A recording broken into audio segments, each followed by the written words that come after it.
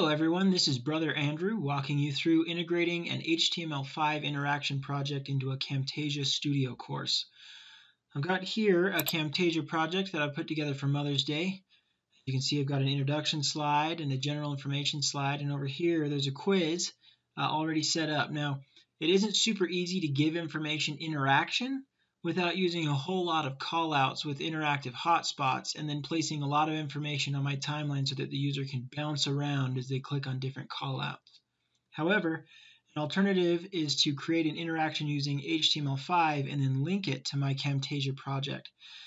I'm not much of an HTML5 coder myself, so I'll be using the interaction builder offered by eLearning Brothers.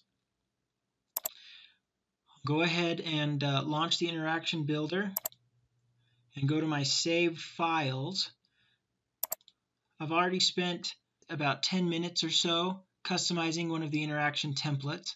So we'll open up the Mother's Day ladder project I've got saved here. Here you can see I've put several uh, different keywords and names that have to do with Mother's Day, and when I click on each one, it pulls information up on the main window. I'm going to hit publish and it'll bring up a pop-up window asking how I want to publish it. Now eLearning Brothers will host the HTML5 interaction for us, so we'll click share and then copy the URL to our clipboard. Jump back into Camtasia and go to the point in the timeline we want the interaction to be accessed.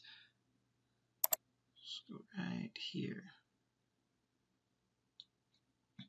Hmm. Okay, now we'll create a hotspot link to our interaction. I'm going to use the mom heart image as the hotspot, so I'll double click on it. Select make a hotspot.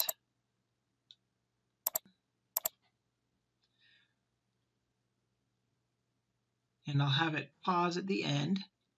Then I'll put in the URL that the hotspot will link to.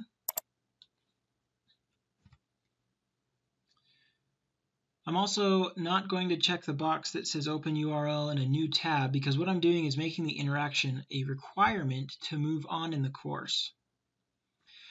That being said, you have to consider where the user will be coming back into the Camtasia production when they're finished with the interaction. For this one, they'll come back right where they left off. So I'll place my timeline scrubber right here. And now I'm going to drag the out point to the end of the production make sure we get all the way to the very end. Yep, so there's the out point. Now I'll right click on the highlighted area and click on the produce section as. It's important that I select the MP4 with Smart Player because this does have a uh, quiz in it.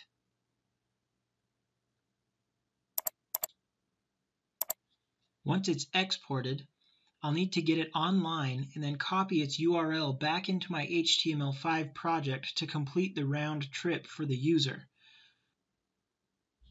So let's go into the interaction builder and edit the interaction I've created. I want the very last button to be the button that connects us back to the Camtasia project, this one here. So let's click on step 7. And as you can see, I've made the button say continue. When you click on that, uh, large text appears asking for a click to continue. I'll highlight this make it a link to the second half of the Camtasia production.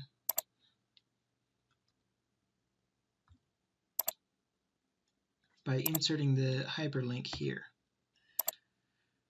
Now I'll click Save, and that's it. So now we'll watch through the entire project and see how it works. So it's loading the first half of the project here. We'll click play.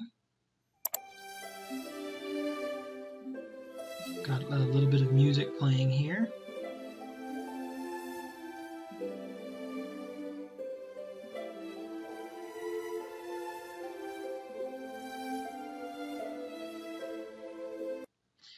And here's our hotspot. Click that, and it takes us to our interaction. Here we can click on the different uh, boxes and see different information about these mothers. And then when we're done, we can click continue, click the link, and it'll bring us now to the second half, right where we left off.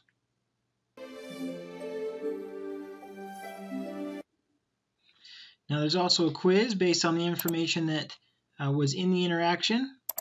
We can uh, buzz through and get some of the answers here.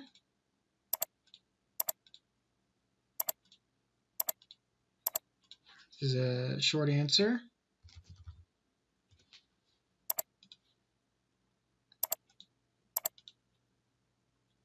We'll click continue.